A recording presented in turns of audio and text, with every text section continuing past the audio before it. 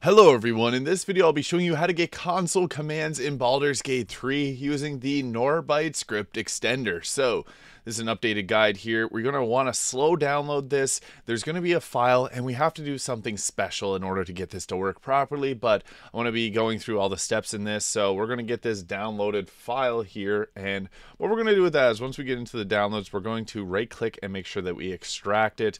Now it's important that we do extract it and not just uh, try to move it from this file. So once we get into that, we're gonna open up another tab. So what we have to do is we have to go into this PC. We got to go into the Windows uh, file here. We're gonna go to Program Files 86. Scroll down till you find Steam, and we're gonna find the Common um, or Steam apps, and then Common. And then we're going to go into Baldur's Gate 3. And then this bin file here is where we're going to double click into. So next what we got to do is drag and drop the dwrite.dll file into here. Now there is one more step that we got to do. We actually got to create a um, a note here, but we're going to uh, edit this in a way that it's going to allow us to access the um, the script extender. So we're going to create a new text document called script extender settings. So just like that. And there's going to be a, we got to open this up. So open and we're going to be adding in this exact line of code here. So console, create console equals true. I'll put this in the description as well.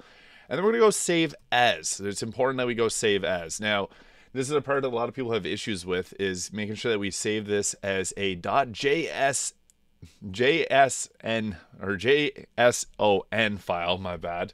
JSON, kind of similar to my name, just minus the A. And then see here, text documents, you got to make sure that you click all files. So this will make sure that we save this into the JSON file here. So just go save, and then we're just going to close that down.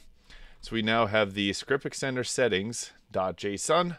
And then with this, we just got to go into our Baldur's Gate 3 and you're going to maybe get a notification that there's some mods installed. That's okay. You can just ignore that. We're just going to boot the game up. Now, it's important that we uh, make sure that you see that little screen there that popped up. That's actually going to make sure that we do have the console commands. So, um, yeah, once we're loading it up, you can also press the Windows key and you're going to see that there is another screen here. So that is why we had to create the .js JSON file in order for us to be able to load into and create the uh, script extender here. So there's a few different things that we can do with it. It's actually very useful because you can revive creatures, uh, you can uh, give yourself items, you can give yourself gold, and a whole lot of other things. So once we boot into the game, you're free to really do what you want with it. So uh, yeah, you're gonna see down the bottom right hand corner when you boot up Baldur's Gate 3, it'll say the script extender there. If you're getting that without the script extender, you're gonna have to create that file that I just took us through on how to do, and I did it basically from scratch, and I will link that down into the comments below. But it really is as simple as that. And then once you get into the game, you can literally just um, open up the script extender here now, in order to do the script extender, uh, once the, you have to make sure the game is fully booted up, but you're going to have to press enter first. That's an important step. I've seen some people that had issues with getting this to work. You actually do have to hit enter at first in order for it to accept the console commands. But once you're into the game, you're going to hit enter, and then you can see that little S there.